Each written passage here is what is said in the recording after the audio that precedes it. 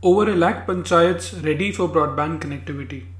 Over 1 lakh 4,000 gram panchayats have been made service ready for providing broadband connectivity as on March 11th under BharatNet project, Parliament was informed today.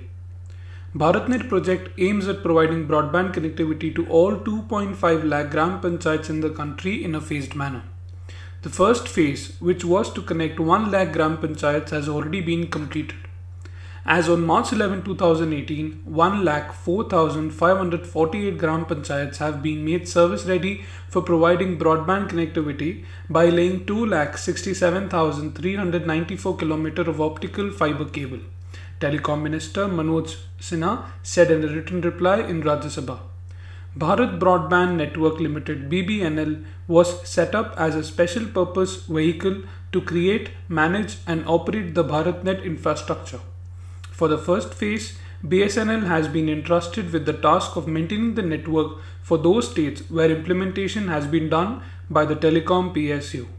For this, a revenue sharing pact has been signed by BBNL and BSNL. For the remaining states, maintenance model has been worked out as per their specific conditions.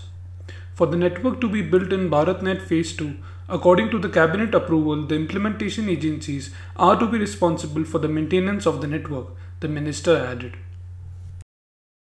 Like and share this video and for more news and updates subscribe to our YouTube channel.